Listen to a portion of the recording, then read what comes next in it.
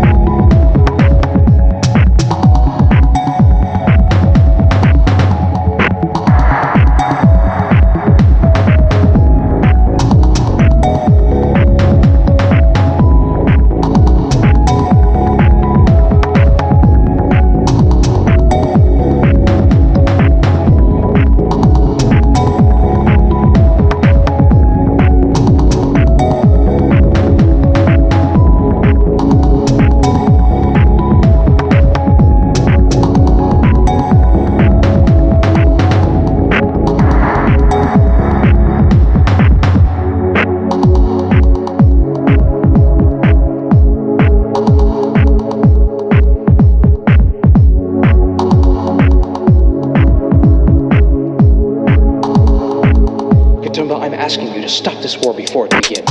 Otherwise, the galaxy will descend into chaos and the fighting will be endless. On behalf of your own people, stop us now.